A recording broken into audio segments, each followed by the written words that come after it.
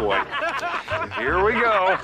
Some banks and credit unions were charging as much as $30 for basic services like, want to check my balance. Can't go to prison, Roy. They'll rape the flip out of me.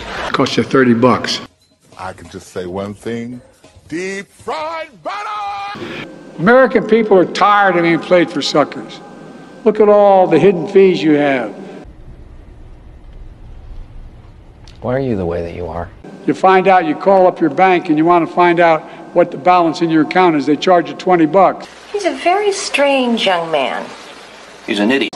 How, do you ever think when you pick up the phone and call what your balance in your account is, you're going to get charged 20 bucks? 90% of the time, I have no idea what the f I'm talking about. And the last thing is, one of the things that's going to have an impact is, and I know it doesn't matter to you guys, I'm being facetious, I shouldn't kid like that. There, there's clearly some dementia. He's, he's not lucid. But when you want to call and check the balance on your account, you get charged 30 bucks.